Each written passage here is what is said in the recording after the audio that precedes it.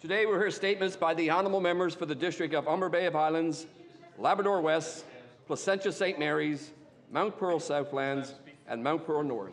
The Honourable the member for Humber Bay of Islands. Last weekend, the Newfoundland and Labrador Volleyball Association started their season with the Volley West tournament held in Corner Brook. 39 teams from across the province competed in both the junior and senior high school levels. Today, I'm very pleased to recognize the Templeton Tigers junior high girls and senior high girls teams from Templeton Academy in Meadows who both won gold in the Tier 2 divisions and brought home two banners for the school. Their hard work, team spirit, and sportsmanship ensured that they could win while at the same time having fun and doing their best. Congratulations also to the coaches, Greg Sharp with the junior team, Chantel Brake, and Glendale Payne with the senior team. On the weekend of November 3rd and 4th, both teams will be competing in the Volley Central Tournament with the junior competition being held at Grand Falls, Windsor, while the senior team will be in Lewisport. I ask all members to join me in extending congratulations to the Templeton Tigers senior and junior high school teams and wish them all the best um, as they get ready for their next competitions. Great job, ladies. The Honourable the member for Labrador West. Thank you, Speaker. I rise today to acknowledge an alternative rock band based out of Labrador City in Wabush called Tarmageddon. Tarmageddon was formed by Scott Neary, Jen Edwards, and Matt Soper. Tarmageddon has earned four Music NL nominations to date, including two Alternative Group of the Year. Their video Nightmare Song was recently nominated for Video of the Year by Music NL. The trio has come together in 2021 as a COVID project, live streaming concerts from their living room. When the venues opened back up, they began to play in local bars and the Arts and Culture Center. Over the past year, our, our Tarmageddon has toured arts and culture centers across Newfoundland and Labrador and played the opening ceremonies of the Labrador Winter Games and opened for the Dorina Harvey Band in Wabush. In collaboration with Brad Dillon, Tarmageddon has released three music videos, all showcasing Labrador City and Wabush locations, including Smoky Mountain Ski Club and the Cash nightclub. In such a short amount of time, Tarmageddon has accomplished much, much more, and on behalf of Labrador West, I'd like to thank them for continuing to showcase Lab West in their work. I ask all members in this Honourable House to join me in wishing Scott, Jen, and Matt continued success with their band. The Honourable the member for Placentia St. Mary's. Speaker Hilda Whalen has been the mayor of Whitbourne for 12 years.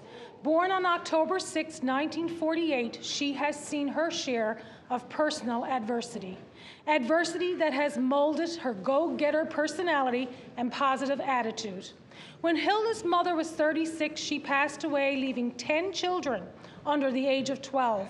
Hilda was six. Hilda's first husband, Ron Phillips, was killed in an accident. At 19, she found herself a widow with a 22 month old and a six week old. Nine years later, she married Bill Whalen. Bill encouraged her to go back to school. In three months, she had completed 36 credits, graduated, and then completed an administrative program. Hilda led the pursuit for pensions to be returned to widows from workers' compensation. She was given a standing ovation in this House of Assembly for this accomplishment. She has battled cancer and won. Hilda has been recognized by the Army Cadets for her contribution to their movement. She is a volunteer with the Lions Club and president of the local 55 Plus Association. Today, she is focused on improving the application of the Practice Ready Assessment Model for physicians. Hilda's motto is do it. Thank you, Speaker. The Honourable the member for Mount Pearl Southlands. Mr Speaker, I'm pleased to rise this Honourable House to recognise the accomplishments of five amazing community volunteers who have given much of their time and talents to the people of Mount Pearl as members of the Kinette Club of Mount Pearl. This past March, Ms. Deirdre Lavanier received a certificate from Kin Canada for 50 years of service. What an incredible legacy of community involvement. In April, Donna Collins, Marion Joy, and Kim Smith were presented with their life memberships the highest award that can be bestowed on a kin member. And in June, our colleague and my good friend Lucy Stoyles received a Kin Atlantic District 7 Zone D Richard Lavanier Memorial Outstanding President's Award in recognition of her community commitment and leadership in her role as president of the Mount Pearl Cadets. There is so much praise I could heap on all of these amazing ladies, many personal stories I could share, working side by side with them through various community events and initiatives. But I'll just say thank you. You are valued, you are appreciated, you are awesome. I ask all members to join me in recognizing these, these amazing volunteers, thanking them for their outstanding service to the community. Thank you, Mr. Speaker. The Honourable the Member Pearl North. Speaker, I rise in this honourable House today to pay tribute to one of the largest, longest serving groups, the Mount Pearl Lions Club. April 17, 1956 was their charter night when they laid the foundation for one of the finest service groups in our province. For almost 70 years, this group have continued to show us what community support is all about. One fine example of this is the Mount Pearl Santa Claus Parade, which they have organized since their conception. They have collected thousands of pairs of eyeglasses, and in 2016, they even went to Haiti with Team Broken Earth and delivered the gift of sight. Plus, they, they have donated thousands of pairs of eyeglasses to our local prisons.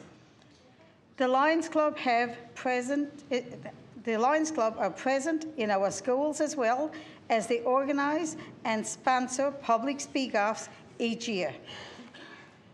The members of the Lions Club are very community-minded. They continue their great work while they still deliver our community suppers. They also help fund the Max Simms Camp and many other community activities. Speaker, I ask all members to join me and say thank you to this amazing group.